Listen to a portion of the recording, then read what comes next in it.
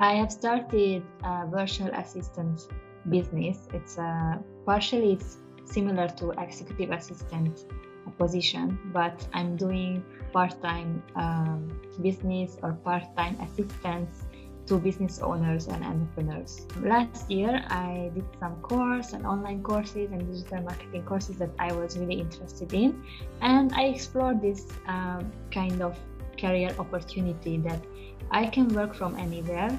I can work online to different business owners, even multiple business owners at the same time, part-time basis.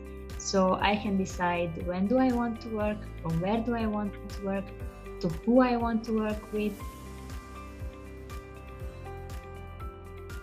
Uh, so I heard about Kinga, one of the Facebook groups. I was uh, trying to research what are the options that I can start my freelance permit, but unfortunately, in the beginning, I found very expensive solutions and very expensive proposals I received from different um, companies.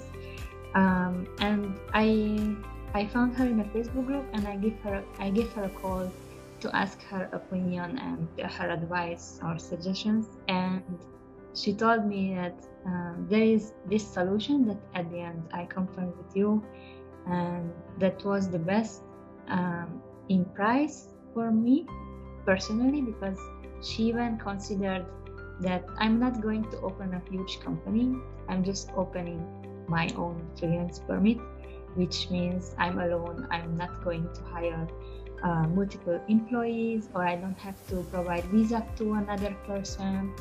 Uh, I'm just working alone as a one person.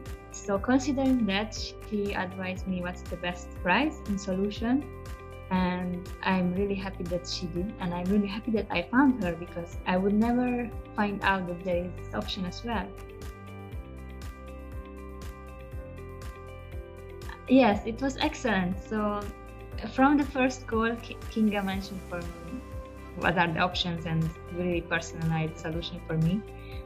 Then uh, once I confirmed with her, okay, I would like to go ahead with this, and she helped me all the time. All the time I had questions, she answered me, and even if she was busy, a little bit later she replied to my messages, and when we started the actual ID process and visa process, um, your colleagues came to pick me up and we, we went to do all the process, the ID and the medical, everything. So it was so smooth and, and there was no problem at all. So I really recommend to anyone who are thinking about freelance permit. Uh, I don't know about uh, actual company uh, businesses or opening a business because I didn't do that. I did the freelance permit and it was so easy. It was super, super smooth.